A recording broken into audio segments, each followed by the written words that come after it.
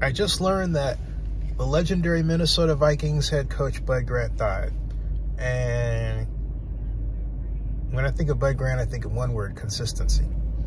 Consistency in behavior, consistency in coaching, consistency in performance, always tops, consistency in everything that he did.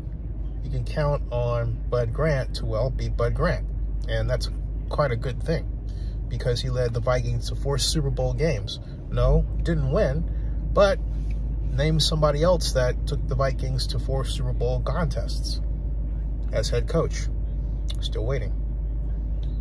Bud Grant was also known for constructing one of the most fearsome defensive lines in NFL football history. That's right.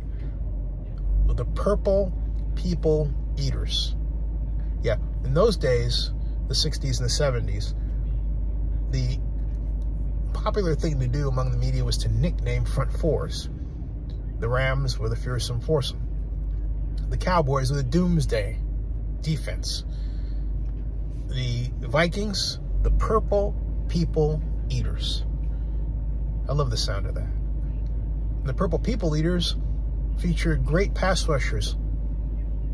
Alan Page and Carl Eller among them.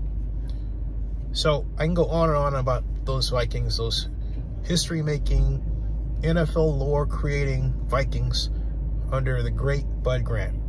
Make Bud Grant rest in peace and coach him to a Super Bowl win in heaven. Subscribe to Zennie62 and bookmark oaklandnewsnowblog.com.